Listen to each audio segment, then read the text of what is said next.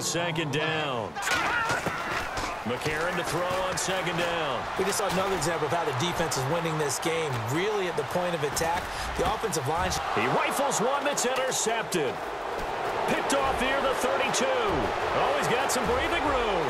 The 20, 10, and they will score. It's a pick six.